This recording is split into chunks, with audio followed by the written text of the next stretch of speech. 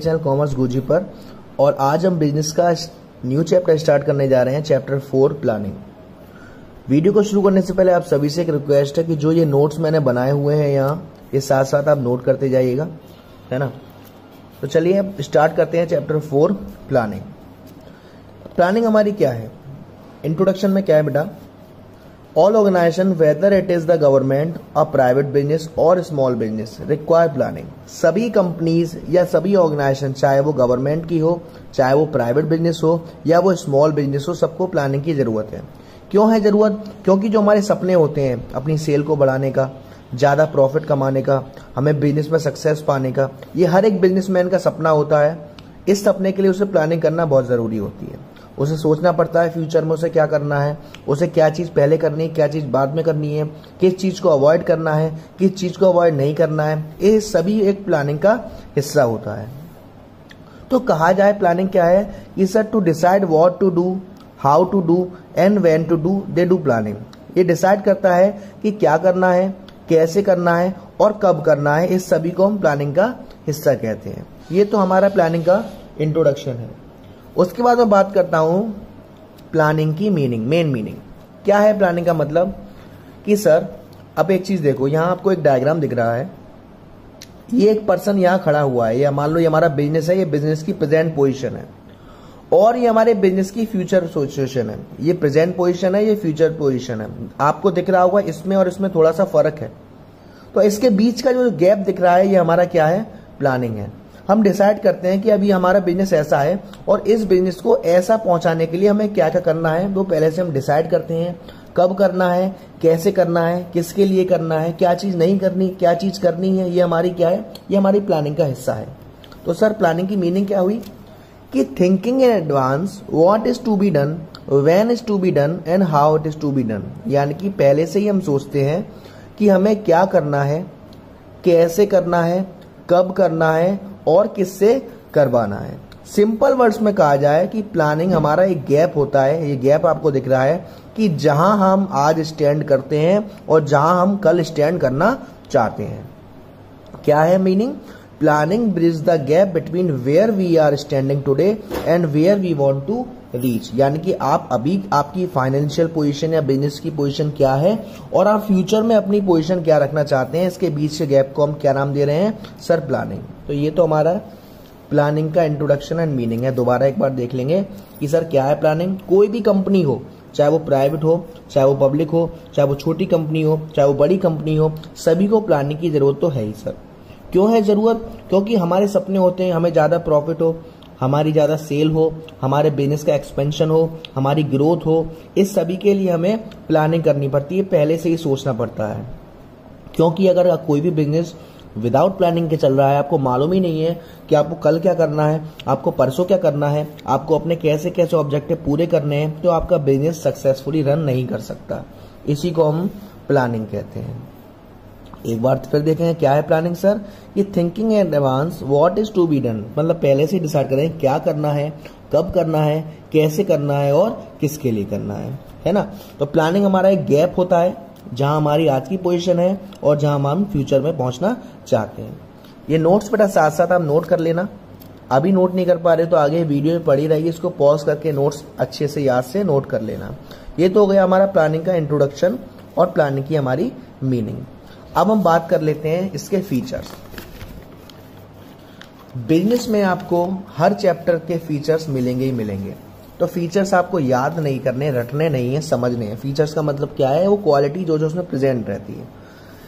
एक लाइन मैंने यहाँ लिखी है कि plan are always developed for a fixed time period as no business can go on planning endlessly मतलब क्या है कि जब भी हम प्लानिंग करते हैं तो हम प्लानिंग को बार बार डेवलप करते हैं, क्योंकि हम जब एक प्लान बनाते हैं तो उसकी एक टाइम पीरियड होता है। हो सकता है वो प्लान एक महीने काम करे, हो सकता है वो एक दिन काम करे, हो सकता है एक हफ़्ते काम करे। तो हमें प्लानिंग बार बार करनी पड़ती क्योंकि हमारा बिज़नेस में एक प्लानिंग कभी भी एंड तक काम नहीं करेगी। हो सकता है आपने महँगाई के हिसाब से प्लानिंग करी हो तो अब महँगाई कम हो गई। हो सकता है आपने बूम या रिसेशन के टाइम में प्लानिंग करा हो इन्फ्लेशन के टाइम में प्लानिंग करा हो तो डिफ्लेशन आ गया तो उसके हिसाब से प्लानिंग करेगी। क्योंकि ये हमारा बिज़नेस एनवायरमेंट जो है, वो चेंज होता रहता है। तो यहाँ क्या लिखा है कि, सर, जो भी हम प्लान डेवलप करते हैं, उसका एक टाइम होता है। एक महीने के हिसाब से, तीन महीने के हिसाब से, एक साल के हिसाब से हमारी प्लानिंग होती है, यानी प्लानिंग हमें चेंज करनी पड़ती है। अब मैं बात करूँ इसके कुछ फीचर्स की। जब भी मैं फीचर्स की बात करूँगा तो फीचर्स को हम नेचर भी कहते हैं और कैरेक्टरिस्टिक भी कहते हैं प्लानिंग की। सब, ठीक है ना? तो यानी कि अगर आपको क्वेश्चन में कहता है कि नेचर बताइए प्लानिंग के कैरेक्टरिस्टिक बताइए प्लानिंग के फीचर्स बताइए प्लानिंग के तो यानी कि इसी के बारे में बात हो रही है। सबसे पहला फीचर है हमारी प्लानिंग का कि प्लानिंग कॉन्ट्रीब्यूट टू ऑब्जेक्ट जब भी हम प्लानिंग कर रहे हैं, हमारे माइंड में एक ऑब्जेक्टिव यानी कि जो भी हम काम करेंगे, उसका जो एंड रिज़ल्ट हमारे हाथ में आएगा, वो हमारा क्या है? ऑब्जेक्टिव है। ये आपको एक डायग्राम दिख रहा है। ये आपको एक मार्क करा है ये हमारा क्या? हमें यहाँ तक पहुँचना है। ये हमारा ऑब्जेक्टिव है। हमें यहाँ तक पहुँचना है, ये मेरा ऑब्जेक्टिव है। अब अगर ये ऑब्जेक्टिव ही नहीं हो तो प्लानिंग मैं किस चीज़ की करूँगा? मैं क्या प्लानिंग करूँगा? यानी कि प्लानिंग का एक फीचर है कि प्लानिंग किसको देख के बनाया जा रहा है? सर, ऑब्जेक्टिव को देख के बनाया जा रहा है। Planning start with the determination of objective. यानी कि प्लानिंग स्टार्ट ही तभी होता है जब हमारे माइंड में कोई ऑब्जेक्टिव सेट है कि मुझे यहाँ पहुँचना है। मुझे कंपनी की सेल इंक्रीज करनी है। मुझे कंपनी का एक्सपेंशन करना है। मुझे कंपनी में ज़्यादा प्रॉफिट कमाना है। ये सब हमारे क्या है? ऑब्जेक्टिव है। इन्हीं ऑब्जेक्टिव को माइंड में रखते हुए हम प्लानिंग स्टार्ट करते हैं। Planning start with the determination of objective. We can not think of planning in absence of objective जब आपको ऑब्जेक्टिव ही नहीं होगा तो हम प्लानिंग किस चीज़ से करेंगे? Second point planning is primary function of management आपको पता है मैनेजमेंट क्या होता है और मैनेजमेंट के फ़ंक्शंस क्या होते हैं? प्लानिंग ऑर्गेनाइजिंग स्टाफिंग डायरेक्टिंग ये सब हमारे मैनेजमेंट के फ़ंक्शंस होते हैं। तो प्लानिंग ये प्राइमरी फ़ंक्शन होता है मैनेजमेंट का। यानी कि सबसे पहला फ़ंक्शन जो प्लानिंग का होगा मैनेजमेंट का होगा, वो क्या होगा? प्लानिंग बिना प्लानिंग के हम आगे नहीं बढ़ सकते। समझ में आ रही बात? यानी कि सबसे पहले आपको मैनेजमेंट में कौन सा फ़ंक्शन करना पड़ेगा? सर प्लान बेटा सेकंड फीचर आपको समझ में आ गया होगा कि सर प्लानिंग हमारा प्राइमरी फ़ंक्शन यानी कि मैनेजमेंट में सबसे पहले हमें क्या करनी है? प्लानिंग जब सोचा ही नहीं कहाँ करना है, कैसे करना है, कहाँ जाना है, कैसे मुड़ना है तो हम मैनेजमेंट में आगे कैसे बढ़ेंगे? तो क्या है हमारा? कि sir planning is the primary और first function to be perform by every manager यानी कि प्लानिंग एक प्राइमरी और पहला फ़ंक्शन है जो हर मैनेजर को सबसे पहले परफॉर्म करना है। बिना इस फ़ंक्शन के हम आगे एग्जीक्यूट यानी आगे काम नहीं कर सकते। थर्ड फीचर्स पे आते हैं इसके। परवेसिव मैनेजमेंट में भी पढ़ा था कि सर चाहे घर हो, चाहे स्कूल हो, चाहे फर्म हो, चाहे बड़ी कंपनी चाहे गवर्नमेंट की कंपनी चाहे प्राइवेट कंपनी हर कंपनी में मैनेजमेंट की ज़रूरत है। और क्योंकि प्लानिंग मैनेजमेंट का ही फ़ंक्शन है तो प्लानिंग आपके, आपको मालूम है कि हमारे बिज़नेस में तीन लेवल होती हैं। Top level middle level lower level तो प्लानिंग सिर्फ़ टॉप लेवल की ज़िम्मेदारी नहीं है। प्लानिंग सिर्फ़ मिडिल लेवल की ज़िम्मेदारी नहीं है। प्लानिंग सिर्फ़ लोअर लेवल की ज़िम्मेदारी नहीं है। प्लानिंग हर लेवल पे ज़रूरत पड़ेगी। प्लानिंग टॉप लेवल वालों को भी करनी पड़ेगी। प्लानिंग मिडिल लेवल वालों को भी करनी पड़ेगी। प्लानिंग लोअर लेवल वालों को भी करनी पड़ेगी, लेकिन अपने अपने तरीके से। तो परवेश का मतलब क्या होता है कि, sir planning is required at all level of the management planning की ज़रूरत मैनेजमेंट के हर लेवल पर है। ये सिर्फ़ टॉप लेवल का फ़ंक्शन नहीं है, ठीक है ना? फोर्थ फीचर क्या है कि sir, planning is futuristic forward looking. मतलब आपको मालूम है, हम जब भी प्लानिंग करेंगे तो आगे के बारे में ही सोच रहे हैं। हम आज क्या हैं और हम आने वाले कल में क्या होना चाहते हैं, इसलिए हम प्लानिंग कर रहे हैं। हम पास्ट के लिए तो प्लानिंग करते नहीं तो planning is never done for the past यानी कि प्लानिंग कभी भी पास्ट के लिए नहीं करी जाती, आगे के लिए करी जाती है। इसलिए हम कहते हैं प्लानिंग एक फ्यूचरिस्टिक या फॉरवर्ड लुकिंग क्योंकि हम आगे बढ़ना चाहते हैं सेल इंक्रीज करना चाहते हैं प्रॉफिट इंक्रीज करना चाहते हैं गुडविल को बढ़ाना चाहते हैं कंपनी को एक्सपेंड करना चाहते हैं ग्रो करना चाहते हैं तो हम फॉरवर्ड यानी कि आगे के बारे में सोच रहे हैं तो प्लानिंग एक फ्यूचरिस्टिक या फॉरवर्ड लुकिंग है। Sir planning is continuous management का भी फ़ंक्शन था, एक कंटिन्यूस और प्लानिंग का भी कंटिन्यूस कंटिन्यूस का मतलब क्या है कि हम जब भी प्लानिंग करते हैं, हमने मान लो मैंने कोई प्लानिंग करी, अब मैं नहीं कर रहा प्लानिंग अकस्मात वो प्लान फेल हो गया, या मैंने जिस एनवायरमेंट के लिए वो प्लान किया था, वो एनवायरमेंट चेंज हो गया, या वो एनवायरमेंट खत्म हो गया तो मुझे दूसरा प्लान करना पड़ेगा ना? तो प्लानिंग क्या कहता है सर कि प्लानिंग एक कंटिन्यूस प्रोसेस है। वो कभी एंड नहीं होता, हमें उस प्लानिंग को सक्सेस जो मैंने प्लान किया, उस प्लान को सक्सेसफुल रखने के लिए मैं बार बार प्लान करता हूँ कि इसे और अच्छा और अच्छा और अच्छा कैसे किया जाए। एग्ज़ाम्पल देखिए प्लानिंग इज़ नेवर एंडिंग और कंटिन्यूस प्रोसेस प्लानिंग एक कभी ना खत्म होने वाली या कंटिन्यूस प्रोसेस है। क्यों? क्योंकि जब आपने प्लान बना लिया, अब आपको उस प्लान में ये देखते रहना है कि अगर एनवायरमेंट चेंज हो रहा है अगर टेक्नोलॉजी चेंज हो रही है, बाहर का वातावरण चेंज हो रहा है तो मेरे प्लान पर कोई असर पड़ेगा? और अगर पड़ता है तो मैं उसकी जगह कोई दूसरा या बेस्ट वे सिलेक्ट करूँगा। फॉर एग्ज़ाम्पल आप इन्फ्लेशन चल रही थी और इन्फ्लेशन के हिसाब से आपने कंपनी की प्लानिंग करी। अक्समात ही डिफ्लेशन स्टार्ट हो गई तो अब आपको प्लान क्या करना पड़ेगा? चेंज करना पड़ेगा। तो प्लानिंग क्या है हमारी? कंटिन्यूस प्रोसेस है। Six planning involve decision making इसका मतलब क्या है? जब भी हम प्लानिंग करेंगे, हमारे पास में अलग अलग अल्टरनेटिव होंगे। अलग अलग अल्टरनेटिव का मतलब अलग अलग ऑप्शन हमारे पास चार रास्ते होंगे। हमारे पास पाँच रास्ते होंगे, हमारे पास दो रास्ते होंगे, क्योंकि अगर हमारे पास अल्टरनेटिव है, तभी तो हम प्लानिंग करेंगे कि यार ये वाला आइडिया अच्छा है, कि यार ये वाला आइडिया अच्छा है, कि यार ये वाला आइडिया अच्छा है, या हमारा ये वाला आइडिया अच्छा है।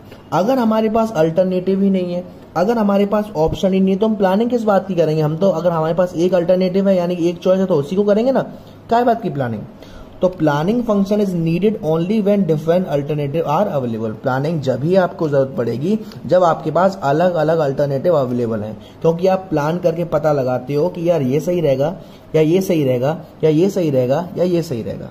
And we have to select most suitable alternative उन चारों में से या उन दसों में से, उन बीसों में से सबसे बढ़िया जो आपके लिए ऑप्शन रहेगा, हम उसको सिलेक्ट करते हैं। उसके बाद प्लानिंग का हमारा लास्ट फीचर है, वो है sir planning is a mental exercise ये आपको नाम से समझ में आ रही है, हम प्लानिंग दिमाग से करते हैं।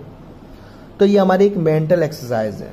यानी कि इसमें आपको ज़्यादा सोचना पड़ता है, अच्छे से सोचना पड़ता है थिंक करनी पड़ती है। तो ये हमारी एक दिमाग की एक्सरसाइज है, जिसे हम कहते हैं planning is a mental exercise it is mental exercise क्यों? Planning is a mental process which require higher thinking उसमें आपकी थिंकिंग अच्छी होनी चाहिए, ऊँचे लेवल की। That is why it is kept separate from operational activity planning एक mental exercise है, इसीलिए इसे ऑपरेशनल एक्टिविटी से अलग रखा गया है टेलर जी ने।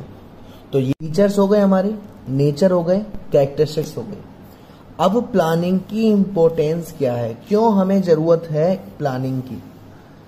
यानी कि importance and significance of planning question में चाहे आपसे इम्पोर्टेंस पूछे या सिग्निफिकेंस पूछे मतलब एक ही है पॉइंट एक ही है। सबसे पहला point sir planning provides direction planning से हमें ये मालूम रहता है कि हमारे एम्प्लॉय को, हमारी कंपनी को, हमारे मैनेजर्स को कैसे कैसे काम करना है, पहले क्या काम करना है, उसके बाद क्या करना है, उसके बाद क्या करना है। फॉर एग्ज़ाम्पल जब हम एक सिटी से दूसरी सिटी में जाते हैं तो आपने देखा होगा वहाँ बोर्ड लगे होते हैं। फॉर एग्ज़ाम्पल हम दिल्ली जा रहे हैं। हम दिल्ली के लिए निकले। हमें नहीं मालूम पड़ रहा कि यार कैसे जाना है। बोर्ड लगा होता है दिल्ली, इतना किलोमीटर आगे से लेफ़्ट लीजिए। फिर हमने लेफ़्ट लिया दहली इतना किलोमीटर सीधे चलिए। फिर हम सीधे गए दहली इतना किलोमीटर राइट हैंड मोड़ लीजिए। यानी कि क्या है? ये हमें डायरेक्शन मिल रहा है। और मैनेजमेंट में बिज़नेस में हमें दिशा कौन दिखाती है? प्लानिंग तो प्लानिंग में क्या लिखा है सर? कि planning is concern with predetermined course of action planning क्या है? पहले से ही हमें क्या काम करना है? वो चीज़ it provides the direction to the efforts of employ यानी कि जितने भी हमारे एम्प्लॉय हैं, उनके एफर्ट्स को, उनके काम को दिशा दिखाता है कि भाई आपको काम अपना इस तरीके से करना है। Planning makes clear what employ have to do how to do planning से ये मालूम पड़ता है एम्प्लॉय को क्लियर होता है कि उनको क्या करना है, कैसे करना है। ये मैंने एग्ज़ाम्पल दिया है वही किलोमीटर वाला, जो बोर्ड लगे होते हैं डायरेक्शन मिल रहा है हमें, है ना? सेकेंड पॉइंट है planning reduces the risk of uncertainty एक चीज़ ध्यान रखना प्लानिंग रिड्यूसेस यानी कि अगर हम कोई काम या अपना बिज़नेस प्लानिंग से कर रहे हैं तो हो सकता है फ्यूचर में होने वाली अनसर्टेनिटीज अनसर्टेनिटीज का मतलब क्या है? आपने पचास हज़ार रुपये लगाकर बिज़नेस स्टार्ट किया। अब ये रिस्क रहता है कि यार ये पचास हज़ार रुपये मेरे कवर हो पाएँगे या नहीं हो पाएँगे। अगर वो आपने काम प्लानिंग से किया है, अच्छी प्लानिंग से किया है तो हो सकता है आपको पचास हज़ार कवर हो जाए, या हो सकता है कवर नहीं हो पाए तो थोड़ा बहुत नुकसान हो।